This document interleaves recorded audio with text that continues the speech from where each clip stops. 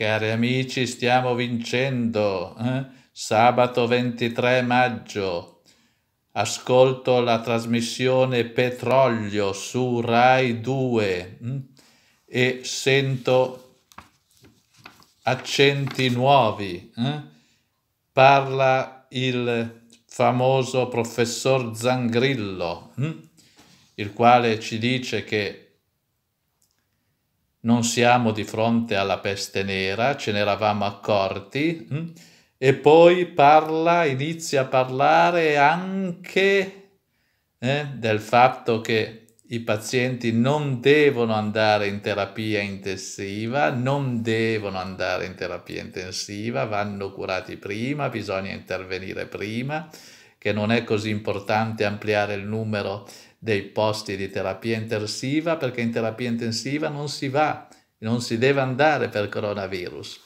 E poi ci parla anche di ventilatori cinesi che prendono fuoco o che esplodono eh, nelle vicinanze dei pazienti, ventilatori cinesi, ventilatori cinesi, ventilatori cinesi, ripeto, non so se eh, ci siamo, se avete capito, eh?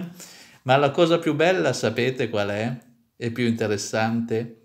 Voi pensate che il dottor Zangrillo e tanti altri dieci giorni fa o una settimana fa non sapessero queste cose? Le sapevano benissimo, le avevano ben chiare in testa, ma non avevano il coraggio di dirle, di dirle pubblicamente in tv su Rai 2 davanti a milioni di persone. E sapete perché? Perché erano minacciati, erano minacciati. E oggi invece si sentono di fare queste dichiarazioni. Il vento sta cambiando, il vento sta cambiando. E i dittatori foggiani hm, Adesso come faranno? Gli mancano i morti, gli mancano i morti, gli mancano i morti, troppi pochi morti.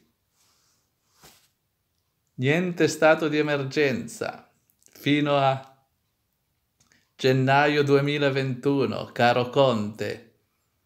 Preparati a rimanere in mutande, dovrai versare risarcimenti milionari.